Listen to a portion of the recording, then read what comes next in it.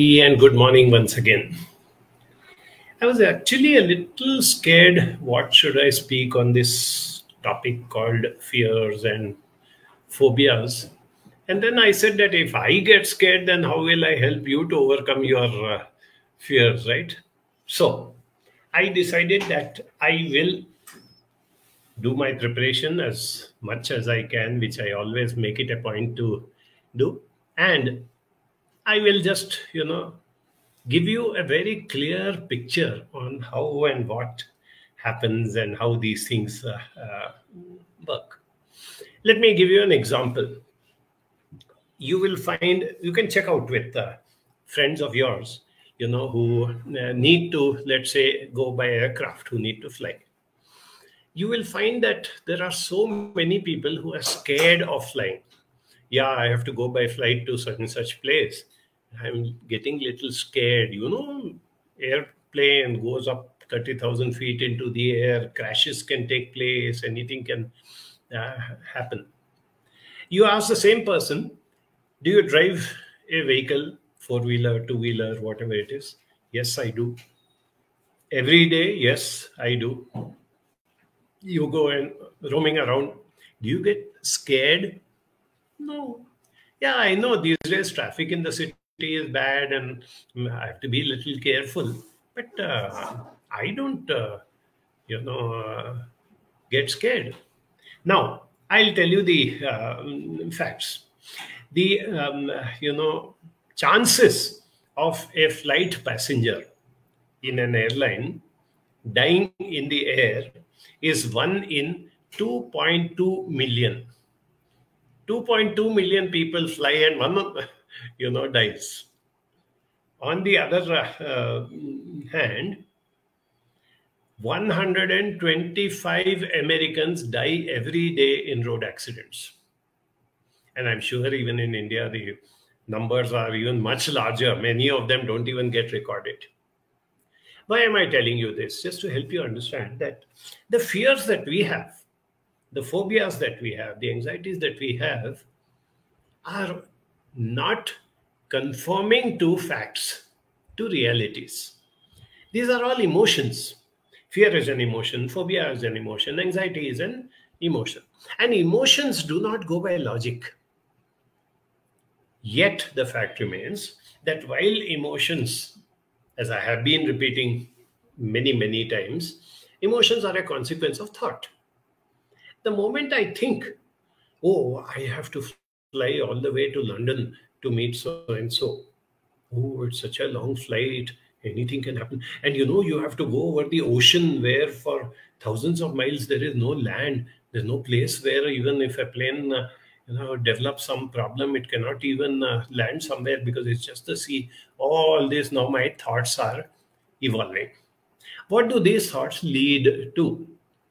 They lead to certain emotions. Let's say anxiety what will happen if there is a plane crash? Should I do this or not? Should I avoid traveling? So these are the type of you know emotions that uh, come in. And like I said, these emotions, while they come because of our thoughts, they can be managed. You cannot avoid, avoid emotions. If I'm afraid, I'm afraid. Let's say I've got a fear of dogs. I step out on the road and 50 feet away, there's a dog barking at somebody else. But the moment I hear that dog and I see him from far away, that fear immediately comes up, right? The question now is do I have to suffer from that fear? Or can I do something to manage that fear? All emotions can be managed, remember.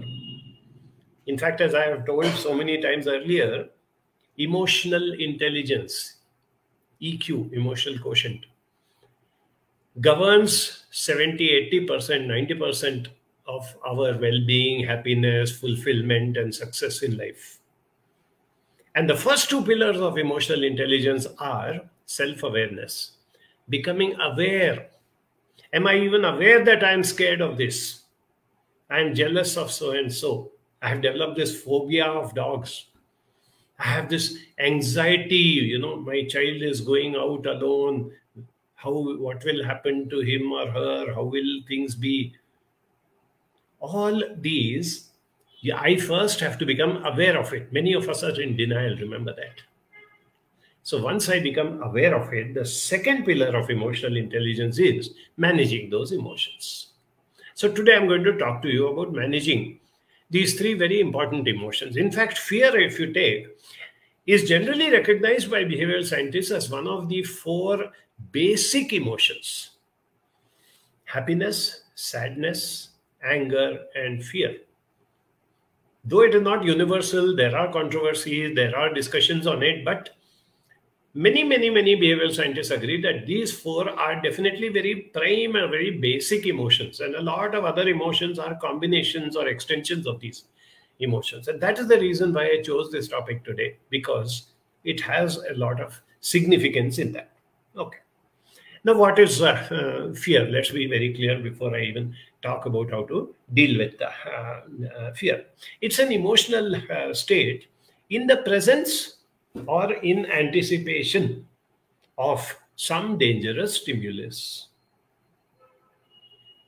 Something is dangerous, something is bad. It is either there right in front of me or I feel that it is going to be there. And it is characterized by a feeling of extreme agitation. You know, we develop that fight or flight syndrome either attack or run away from there. That is what fear does uh, to us. And fear can be against an object, a person. I'm very scared of this man or this woman. It can be fear of an event. I'm scared of exams. I'm scared of this. I'm scared of uh, that a war may break out. It is very often aggravated if it is unknown Start with something very basic. You have a small child at home. You have a bedroom on the first floor.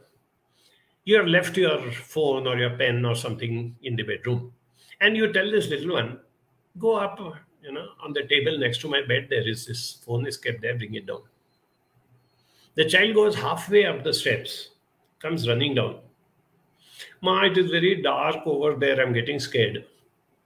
Now, it is your own bedroom within your own house. The main door is locked. The whole family is there at home. But just because it is dark, the child says, I don't want to go. You get up, go near the stairs, put on the light, and say, Now you go. And happily he goes, gets the thing you wanted, and comes back uh, with it. It starts from something as simple as that going on to a lot of things which are in the unknown uh, realm. Like I said, for example, dogs. I've never been bitten by a dog and nothing bad has happened to me, but I have never had a pet dog. I've never interacted with uh, uh, dogs. So, when I hear a dog barking far away, when I look at a dog, I start getting scared.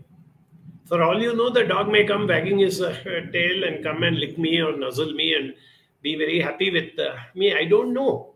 So this is what I want you to understand about fear before I uh, talk about how do we overcome uh, it. Now, fears, when they sort of start getting into certain brackets, certain things which I am eventually, inevitably, all the time scared of one is, as I told you, being scared when I see a dog across the road. The other is to be sitting at home and a friend calls me and says, Why don't you come over to my house tomorrow? And I say, Yes. And suddenly the thought strikes me after I put down the phone Does he have a dog? If I go to his house, will I have to face the uh, dog? There is no dog. There is no threat. Yet the fear has already come up. Now, that is what we call as, you know, a phobia. Like I told you, it could be a phobia for, uh, you know, uh, darkness. It could be a phobia of uh, crowded places. It could be a phobia of uh, new uh, uh, places. There are innumerable phobia. Phobia of fly, flying in an um, aircraft. So many of us, if we do not manage our emotions, particularly these emotions like fears and anxiety, it can lead to phobias. And once it becomes a phobia, it becomes extremely difficult to undo it.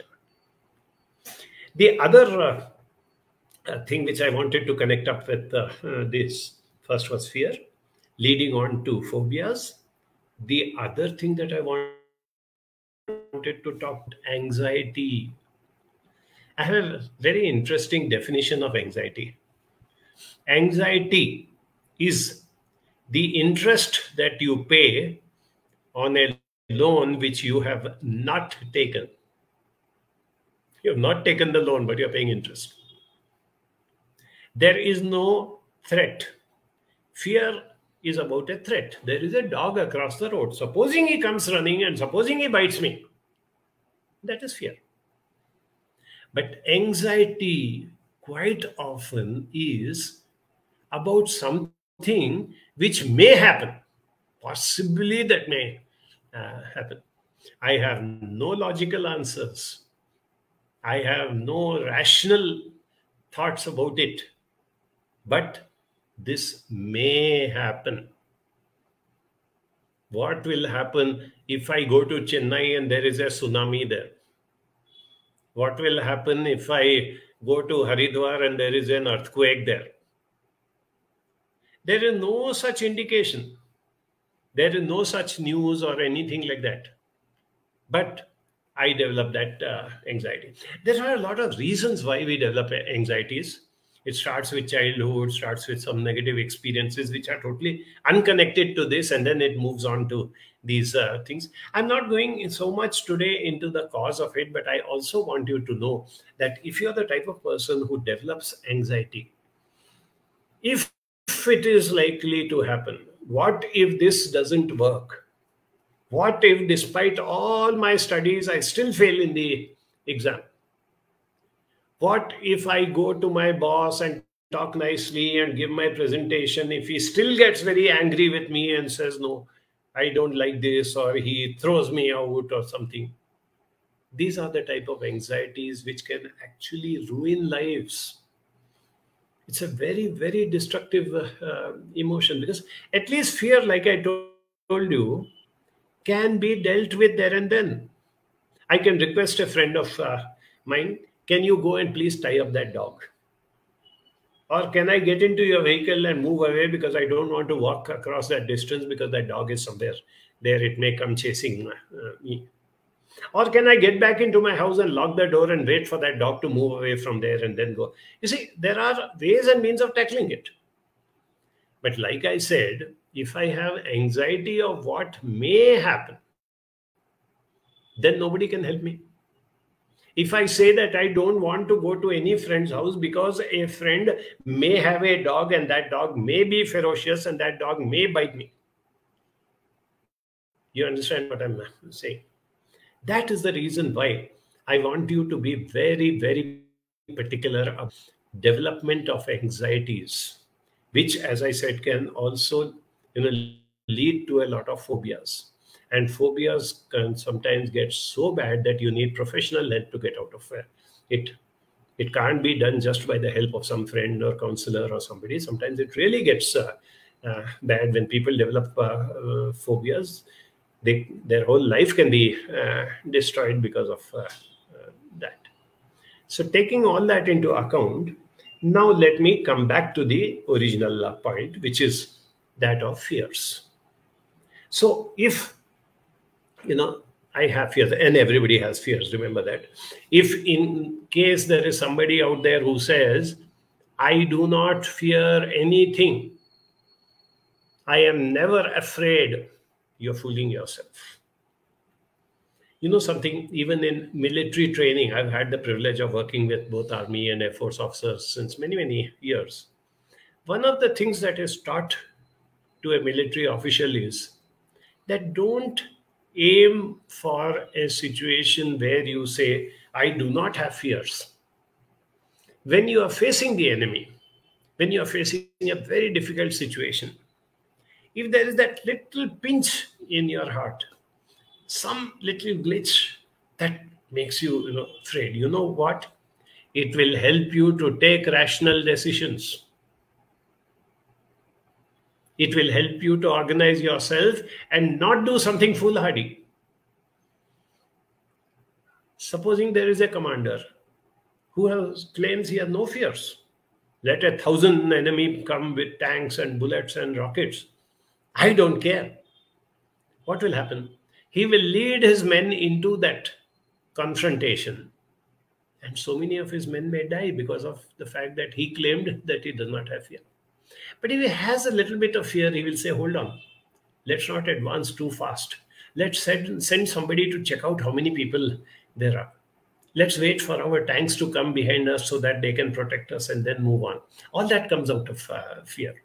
So there is no question of either you know, coming to a situation where I do not have fear. Take something very simple in the city of Bangalore, for example. Of late, we've been having so many instances of young kids, many of them underage, who get onto a bike, a motorcycle, or a scooter. And three of them, four of them sometimes are sitting on it and doing what they call as wheelies. That means they raise the front wheel of the uh, bike and they go zooming ahead. There have been innumerable accidents, there have been deaths, and they have been caught by the police, and their parents have been jailed, the vehicle has been confiscated. Left, right, and center, that is uh, um, happening. But somewhere along the line, we don't seem to be controlling it. The number of instances are not coming down despite so much of police patrolling, so much of threats, and this and that. Why? because these children feel that I have nothing to fear.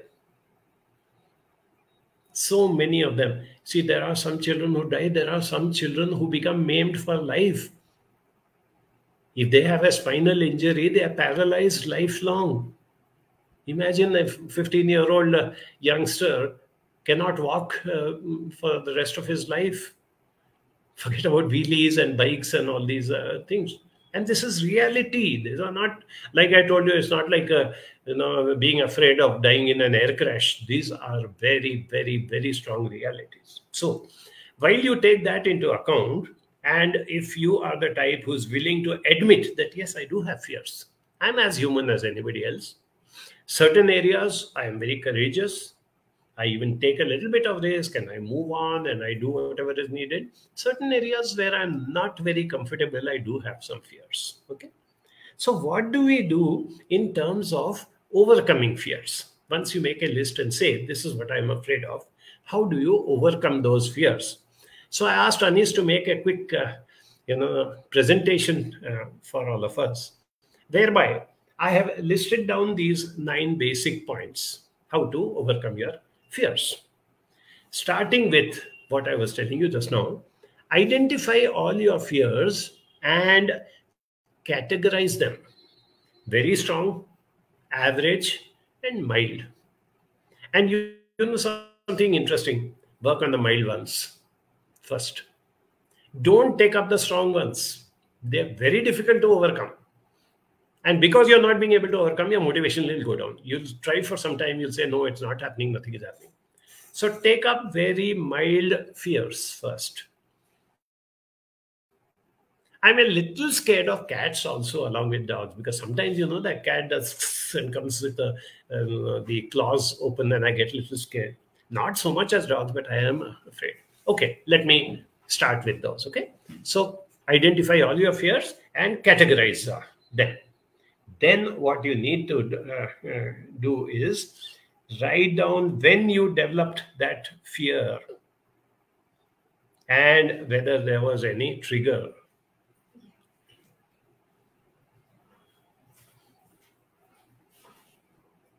When you developed that fear and whether there was any trigger. What triggered it? Like I said, if there is a uh, you know important event, I was bitten by a dog. From that time onwards, I've developed fear of dogs. Or I was not bitten by a dog, but I was told that my cousin who lives in such and such a uh, place, he was bitten by a dog, and then he had to take so many injections, and he was in so much pain, and this and that. So that created it. So write down when you developed those fears and whether there was any trigger. Now, how significant is the trigger? That's a question that comes to mind. One cousin of mine was bitten, or even I was bitten. But you know how many uh, stray dogs there are in our country? Six crores. I don't even know six people who were bitten by dogs. So, what does it mean? 5 crore 99 lakhs 99,990 uh, people, dogs, have not bitten anybody. That is how we start the process of rationalizing. Okay. If nothing has happened to you, but you still have a fear, check whether it is because somebody else has drilled it into you, particularly in childhood. You'll be amazed at the fears and phobias and anxieties that we developed because of what our elders told us. It's very sad, but many, many elders, just to protect the child, instill fear into the child. Don't talk to strangers. If somebody offers you a chocolate or something, don't take it. Fine, you're trying to protect the uh, child. But the same adults have not told why I said it.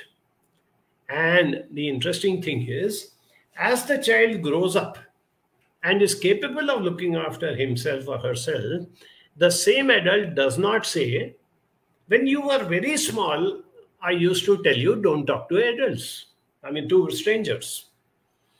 Now that you're a little older and you can take care and you can differentiate between what to talk and whom to talk, that same rule does not apply to you. You can talk to strangers hardly any adult takes the trouble to do that. So, you know what happens in the subconscious mind? I grow up carrying that indoctrination or that message which was given to me by a very significant adult, my own parent, my teacher, my grandfather, whoever had told me that. So, based on that, what happens is that is why I've given on this slide if nothing bad happened and I still have a fear, check whether it was because somebody pushed that thought into your mind, created that fear in your mind. And with that, we start off with rationalizing. Rationalize what are the chances that the bad thing will actually happen. Whether your aircraft will plunge into the Atlantic Ocean, whether that dog will suddenly leave everybody else and come running or down the road and come and bite you and go away. How often have you even seen that happening? Forget about being bitten by a dog. How often have you seen dogs going and biting another human being and going away? Most often they are barking at something which is going past, or they are barking at another dog, or whatever it may be. So, if you understand, if you are able to rationalize what are the chances that that bad thing will actually you know happen? I even do it with students who get uh, exam anxiety for example. No no i think i will fail. I think i will not get selected. I don't think i will get admission. I don't think i will uh, pass. Rationalize. I ask a student for example who's getting very very scared of exams. Okay you are going to appear for this paper where the maximum marks are 100 right? Okay what do you think are the chances that you will score 0 out of 100? no, sir. Obviously, I won't score 0. Fine. What are the chances that you'll score 10 out of 100? No, no, I, I won't do that. Okay, 20 out of 100? No, no, no, even that much, that is too low. 30 out of 100? No, unless I really mess it up, I don't think it will go down to 30. 40 out of uh, 100? 50 out of uh, 100? Yes, sir. Sometimes I get scared. I won't even get a first class. I may get only 50%. Okay. But you're sure you will get 50, right? Yes, of course. Uh, 40, 50, definitely. Whatever happens, I think. Uh, so it is like you are going for batting with 50 runs to your credit already on the scoreboard. Now, what do you have to do? You have to start hitting out for 51 runs, 55 runs, 60 runs, 100 runs. Look at it in the same way. So that's what I meant by saying you rationalize what are the chances that the bad thing will actually happen. If you sit down and look at statistics, if you look down and think of what are the ways in which you have protected um, yourself, you will realize that the chances are very, very, very low. And if it is like that, it is almost like a lottery. Can you buy a lottery ticket and say, the first prize is 10 crores?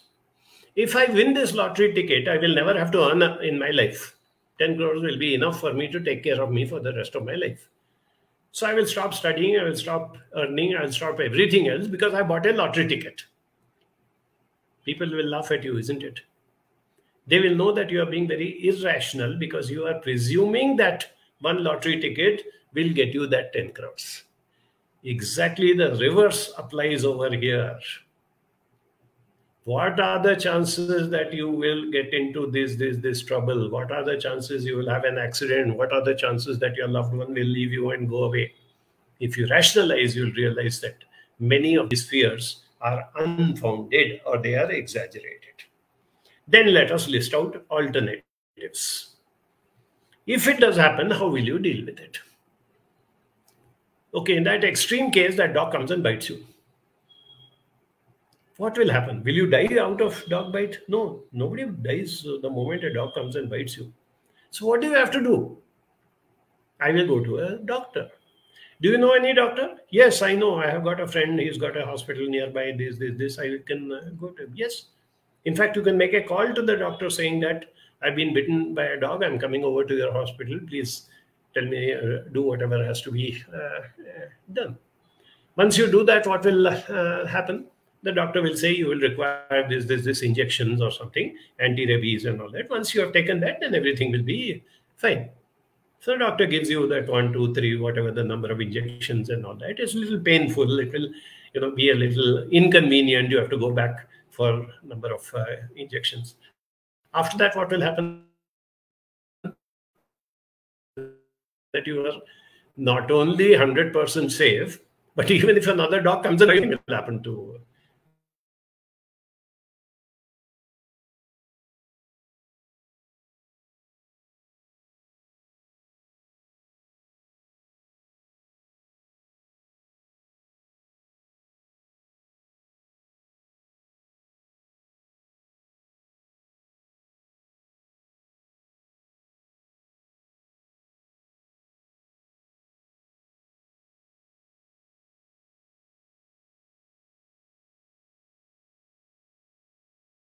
heard that friend of mine had happened and whatever these things had um, happened. Talk it over with a trusted friend and an elder an expert. Like i said if it's a question of dog bite there are doctors you can talk to. You have been bitten by um, a dog you were uh, scared of flying, talk to somebody who knows something about aviation and about flights and this and that, and he'll tell you that it, the chances are something like 1 in 2.2 million that you will die in a plane uh, crash. This is how you need to reinforce it back. And then expose yourself in a similar situation at a very basic and small level. Get a tiny little puppy and start playing with it so that you overcome the uh, fear of uh, dogs take a short flight somewhere. Okay, I have to go and meet my friend in Hubli. Now, uh, you know, we have these uh, uh, plane uh, flights are available. They are not very expensive. Normally, I would have gone by train. Okay, this time let me just go by plane and uh, see how it is. Within 45 minutes, I will be there. And if nothing happens to me, I have taken that one step forward. So expose yourself to a similar situation at a very basic and small level and check out your emotions. That is, Initially, I was very scared. But when I stepped out of the aircraft at the other end of the flight, I realized that nothing happened. It was so safe. In fact, I stopped there and I asked some one person who was standing there, "How many accidents have you had in this Hubli airport?" And he will say, "No, never. From the time that airport started, we have never had an uh, accident." That gets reinforced, uh, right? Take responsibility. That is very important you know, maximum fears are among people who, as they say, pass the buck. They expect others to do things for uh, uh, them. So, if the more you take responsibility, the lesser are the chances that fear, anxiety, or phobias will pull you down. And the last point in this sequence is reward yourself every time you overcome even slightly. I went to a friend's house where there was a tiny little dog and I petted him. I put my hand and stroked him, and he wagged his tail and he was friendly with me.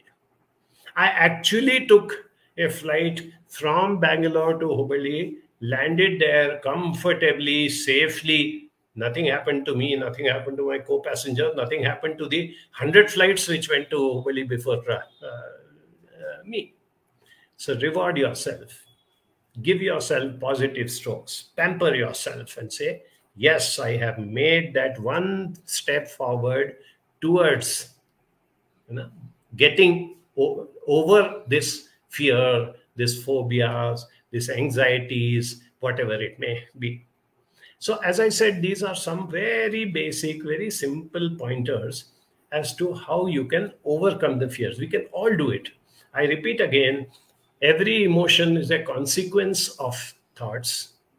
Some emotions can be very disturbing and they can lead to a lot of you know constraints on your life but every emotion can be managed through proper steps, through proper guidance, and through a lot of patience. So, with that, I need my one minute break and I'll leave you in the good hands of Seema.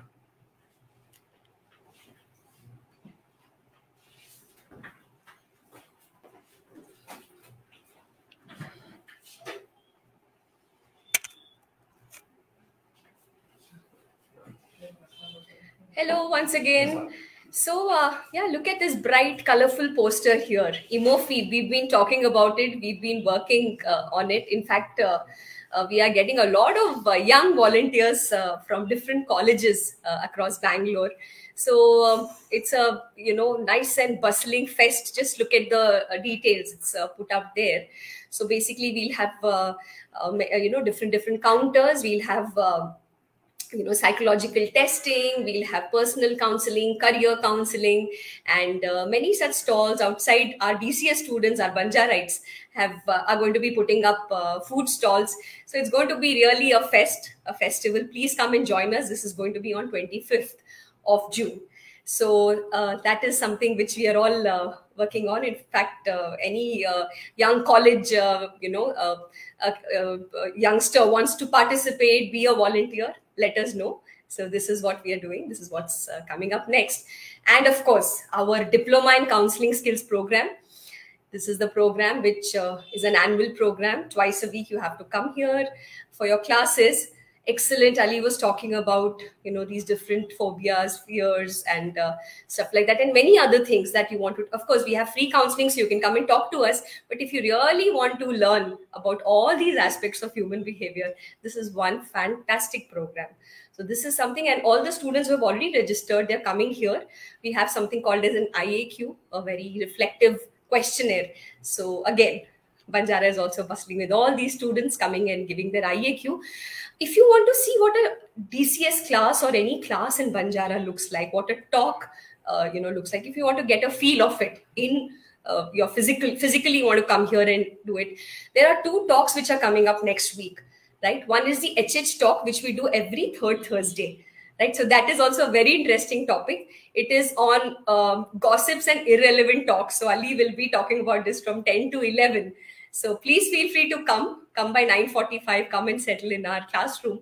And uh, this is a talk which is on 16th of uh, uh, June. And on 18th we have another talk on what is the difference between a counselor and a friend.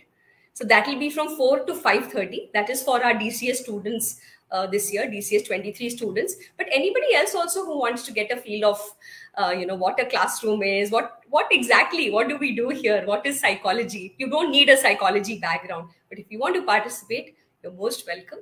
So do come over. A lot of things happening here. Check out our website for all our latest programs. So with that i hand you over back to ali. Thank you so much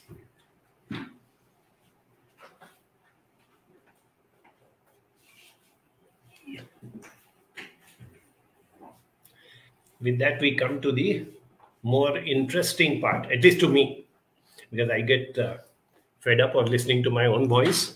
So when I interact with people, when I find people giving some, uh, you know, nice inputs, doubts, discussion, disagreements also, that's what stimulates uh, me. And we start as usual with my very dear friend and student, Surekha Jagdale. Says, How can I replace that villain, my chatterbox, which is spinning all the fear with a loving internal friend?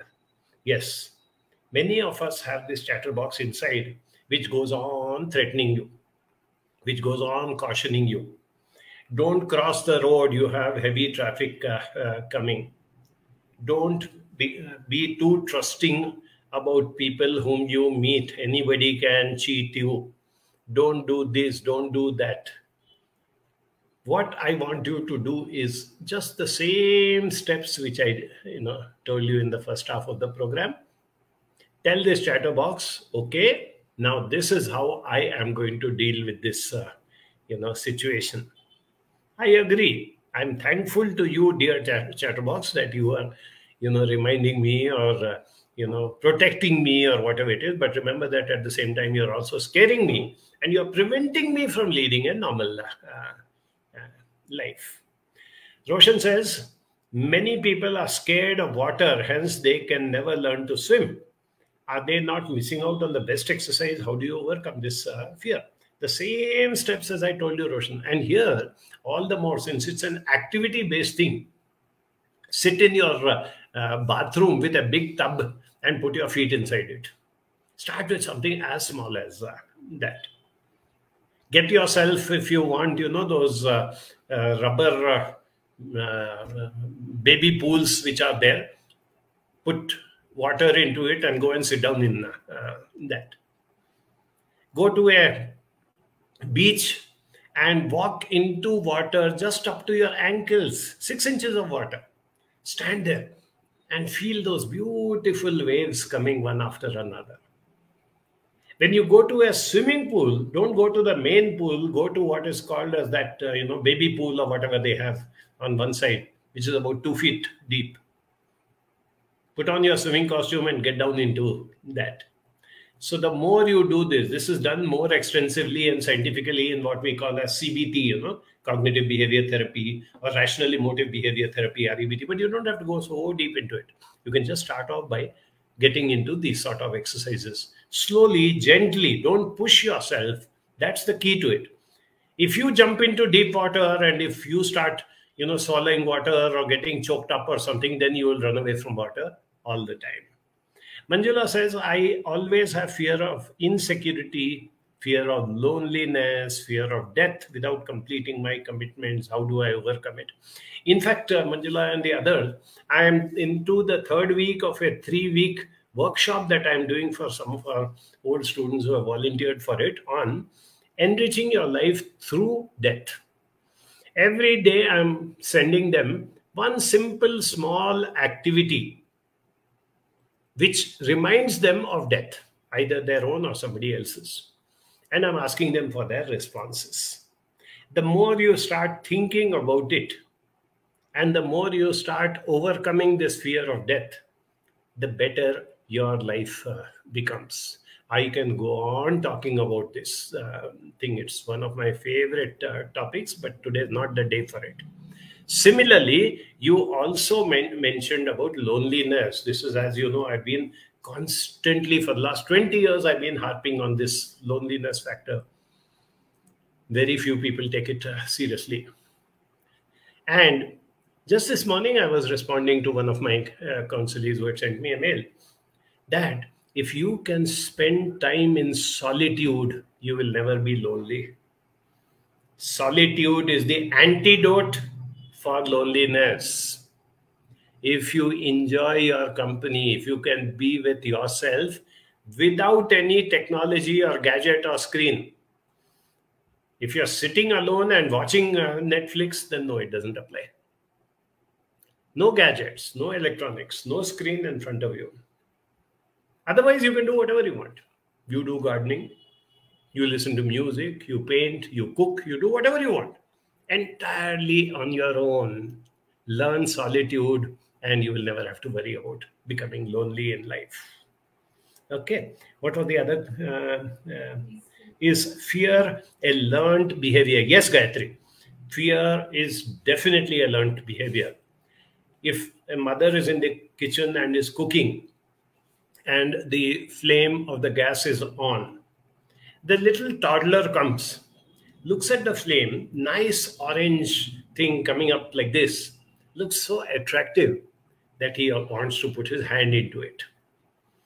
If mummy is not watching and if he brings his hand too close to the fire, what happens? His fingers get burnt. Now he knows.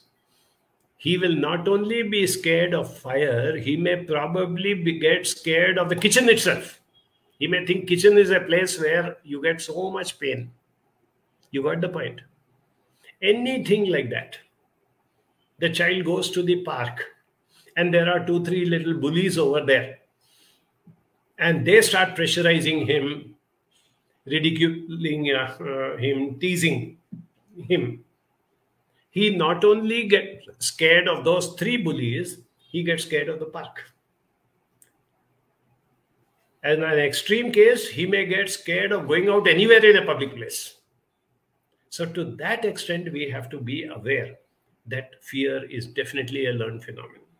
Now, when you find somebody having these fears, as I told you, don't scold them, don't ridicule them and say, How silly, what's there to be scared of parks? What is there to be scared of this? What is there to be scared of that?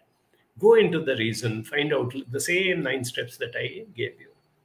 Roshan says, My daughter in law has a phobia of flying, with the result that she cannot make a trip to India with her family.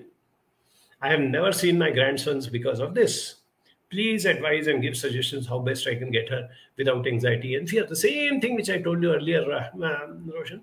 Ask her. You know, in a country like USA, you even have those small little private airfields and you have these tiny microlight aircraft. I have enjoyed in my younger days flying those uh, microlights. They're just tiny. They are like flying motorcycles.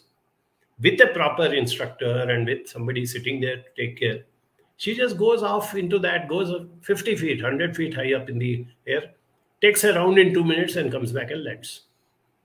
Now, the point is that she has broken that barrier of going up into the sky. Even I would say, go to a tall building, 20 floors, 50 floors, whatever it is. Stand there and look out at the panoramic view. Slowly look down. Huh. When I look down, I get scared. Yes, you do get scared but you are safe in the building. You have a solid parapet wall in front of you. You're not in the air, you're not in the aircraft. Look down and visualize that instead of a building, supposing I was in an aircraft, how would it have been? Like that, you start slowly breaking. If you tell her that you have to catch an international flight from USA to India or something, she will never do it. But we are losing time. Because of that fear or phobia, her quality of life is going down. She's restricting herself. It's not just a question of coming to India. There may be so many things tomorrow. You know, there may be an emergency where she has to fly from one place to another and she won't be able to do it. That's how we need to teach these people. Okay. Uh, Diksha says, can we be born with it? I don't think so. I'm not a genetic expert and all that, but uh, based on my experiences, I don't think anybody is born with the fears. Like I gave you the example of the child coming into the kitchen. Most of our fears are learned uh, fears. The next is Mamta. My mother is scared to come out and mingle with anybody after she had health problem, but now she is fine with health. So now you know the trigger. She had a health problem. What did that lead to?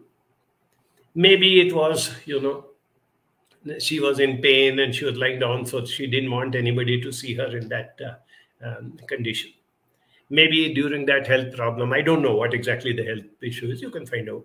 Maybe she couldn't walk properly and she felt very embarrassed meeting people because she would have to take a stick or a walker and go and people would look at her uh, strangely. Whatever may have been the cause now that you've identified that this developed when she had a health problem identify the specifics of what fear came into her mind, what happened. And if she has overcome that, like if she can walk now, she's no longer bedridden or whatever it is, encourage her slowly, very small, this thing, come, we'll just go to our neighbor's house and come back. Or that vegetable vendor has come, you come, we'll cross the road and we'll go up till the vegetable. You are good at selecting vegetables. We will buy that. You just guide me which vegetable to buy. We'll buy that and we will come back. Like that, you have to keep exposing her to it, right? Okay, Kirti says, my seven year old daughter assumes situations and is developing fear. My husband is on treatment for OCD. Is she picking up these habits? Quite likely, Kirti. Because she sees her father having, you know what is OCD, all of you, I hope, obsessive compulsive disorder. That means it, a person starts getting obsessed with certain thoughts. Even that by itself would not have been very bad, but if it leads to compulsive behavior, a person gets obsessed with the thought that I may have left the gas open when I stepped out. And that can be disturbing. Yeah, it is disturbing, but a man can still manage with it. But if it turns into compulsion, which is I have to leave my work, come running back to again check, unlock the house, go to the kitchen, again check whether I have locked, uh, I closed the gas or not. So the obsession is developing into a compulsion. Now, you know small children. At seven years of age, to that child, daddy is the hero. Daddy is the person who has to be emulated. Daddy can do no wrong. Whatever daddy does is the ideal thing to do. And we find daddy having this OCD behavior. That means he has these anxieties, he has this fear, he has these repetitive habits so please go on explaining to the child at seven years, she will understand that, you know, daddy has this problem because of that. He does these repetitive things or he's scared of that, but you don't have to do it. Come, let's rationalize. Come, let's sit and talk about it. Diksha says fear and anxiety. Is it something that one can be born with or genetic? I've just answered that question saying that while I'm not an expert in genetics, I have not come across any specific you know genetic reasons i've not come across any authorized research on uh, that that it happens uh, genetically most of the times when you find that grandfather has anxiety father has anxiety and child has anxiety my conclusion is that it, these are learned phenomena you observe your grandfather you observe your father whoever any significant uh, adult in your life and you start copying and that's why people give it this uh, you know label of it being genetic. Uh, Noor Naveen says, I am very scared to come to any new location without help as I think I get confused about the address, though it is easy to locate. Next time you have to go to a new location, Noor, go, struggle it out, bear that fear and that anxiety, what will happen, all those things. The moment you reach the place safely, take out a notebook or your phone's notepad and write down.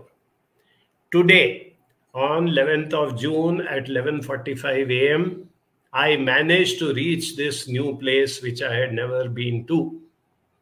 I only got confused for five or 10 minutes where I took one or two wrong turns, but finally I did manage to reach the right uh, uh, place. Put it on record and keep reading it. Next time you have to go to a new place, read whatever your experiences were of earlier and then start off on the thing. Uh, Krishnan says, when I catch some signs of my past bad experience, come to my activities few days, I have fear the same will happen again. Exactly. Is this normal? Yes, it is normal. It can uh, definitely happen because you had those bad experiences. Now your question, how do I empower myself to go beyond these fears and expect happier things? Do I have fear or just past results? Past results have developed that fear. And also remember that we are much more prone to thinking about negative things than positive things. That's a very interesting part. If you go to a new place, let us say for some negotiation, some meeting, and there are 10 people there, nine people talk to you very nicely they cooperate with you, they check out with you, they are very polite to you. One person is bad, rude, arrogant. Anyway, whatever has to do, you've done your work, you finish the meeting, you come back home. If somebody asks you, How are the people whom you met in that meeting? Whom do you talk about? Not about those nine people. You talk only about that one person who was bad.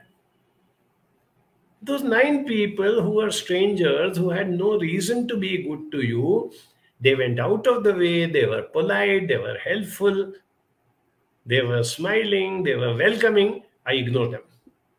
One person was bad and I focus on it. You got my point? The same thing happens with fears.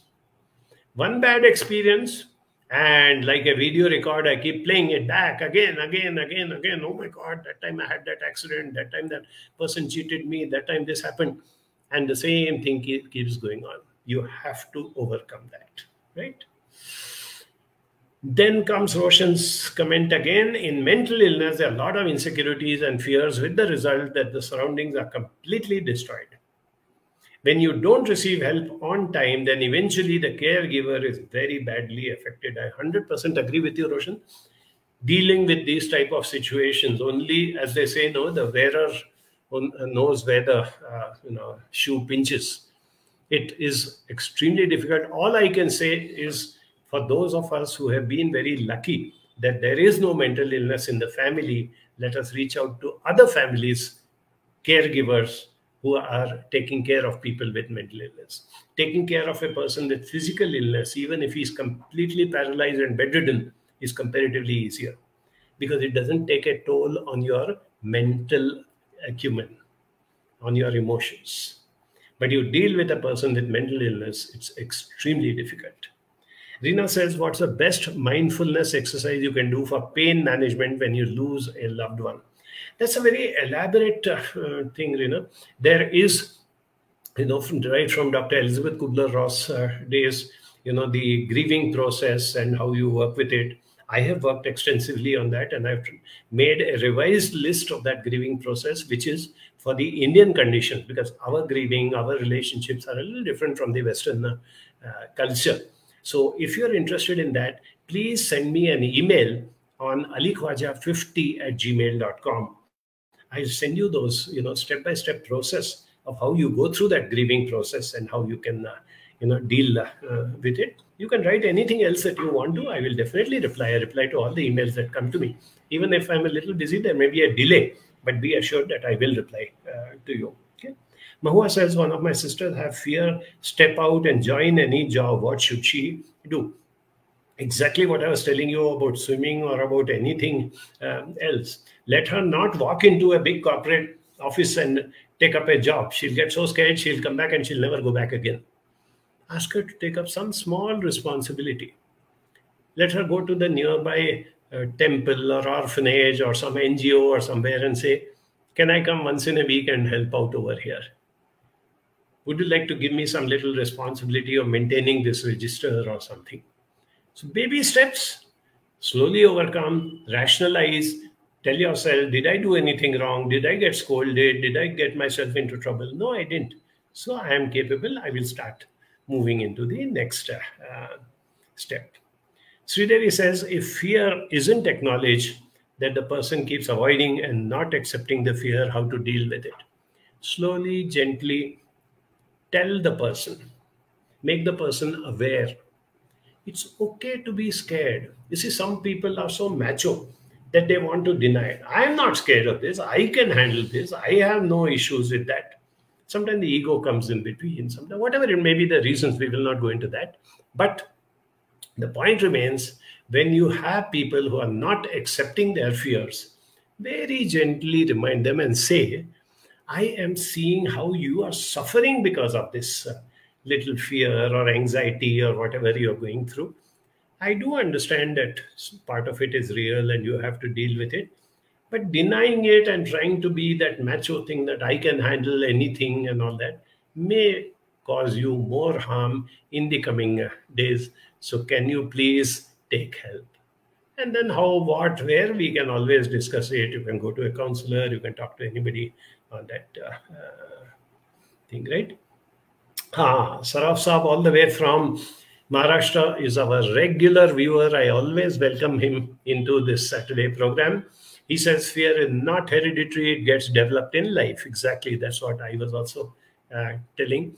that uh, you know we don't have to be scared we don't have to presume that no this is genetic or this is inbuilt into me i can't help it you know my father and grandfather also happened uh, had it so therefore i have it nothing doing i can assure you that you can overcome there is no such thing as hereditary or that's a very easy way of surrendering to something and saying that you know i can't do this I can't walk because my leg has been amputated.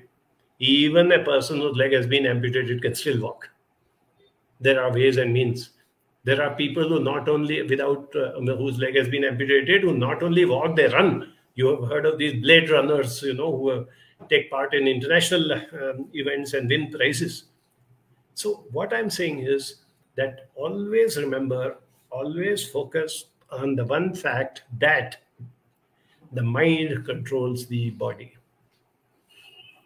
If you gain control over your mind by managing your emotions in the right manner, even if your body is giving you trouble, even if your body is having certain difficulties, you, there are always ways and means. And this I am saying in this modern era where technology has taken so many advances. I told you, for example, a person who's a paraplegic or an amputee, the technology has done such wonders that they can lead normal lives. They can walk, they can run, they can participate in anything that they want to. I have friends who are completely blind. I send them text messages and they immediately reply. Don't ask me how they uh, you know read the text i leave it to you catch hold of somebody who does not have vision and ask how do you do it very easy for uh, them today 10 years back all these facilities were not uh, there so anything that needs to be looked into as long as you have that positive spirit as long as your mind is functional and your mind is having that positive spirit and you say yes i know it is difficult but there's a difference between difficult and impossible. So as long as it is not impossible, there's also that thing, no, that they break up that impossible, giving space, I am possible. So it can be broken up. You have impossible in front of you, just remove the I, create a space, create a space after M. So it becomes I am possible. These are small, small things, but this is what helps us to understand, move on, but it can happen only if you have that willpower. There are people to help. We run a free counseling service. All of you are aware. Anytime anybody can get in touch. Walk into Banjara if you're local and if you're nearby, or call us up on phone or send us an email. Yes, we are there. We'll work on it. We are not problem solvers and we are not, uh, you know, genies or magicians or something. But yes, two minds are always better than one. Maybe we can sit, think, discuss, find out what needs to be. Uh, uh, done and also ensure that you do it at the right uh, in the right uh, way that's one of the reasons why we have this monthly third thursday uh, talk which is a classroom talk not a online um, session and this time you know coming thursday i picked up this uh, you know topic about uh, you know the managing gossip irrelevant talks remember that fears anxieties get comprehended by irrelevant talks and gossips.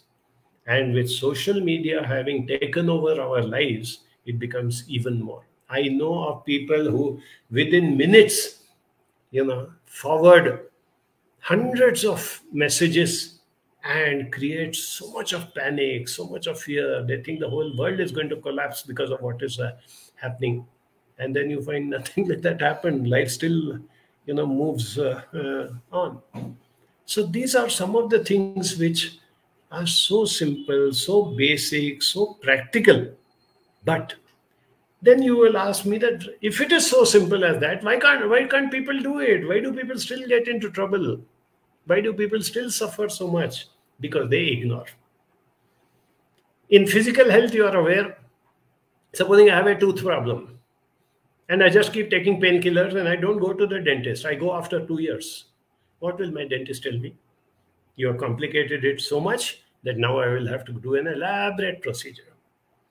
I have a small, let's say, heart problem, very minor as of right now. Maybe with some medication and with some change in lifestyle, I could, you know, get back to normalcy. But I ignore. I work more and more. I get more involved in my work and all these things. And one fine day, when I land up at the cardiologist, he says, "No, now you need open heart surgery or bypass or whatever it is, and life can become very complicated." This is what happens with the mind also. In fact, it happens more with the mind than with the body. That is how we tend to neglect it. So let us work on that. Uh, think, keep these little tips in mind, which I showed you, those nine points, and work on them. Get back to us if you need any doubts or anything of that sort. And I will be meeting up with you next Saturday at 11 o'clock with this interesting topic, which Anis is going to put up and show you right now counseling versus other means of healing. Why counseling? A lot of people ask this, no? Why only counseling? Isn't there any other means? I do prayer and I feel better. I do this and I feel better. Yes, you can. We are not competing. So, what is the difference? What is the effect? All that we will discuss next Saturday at 11 o'clock. See you. Bye bye.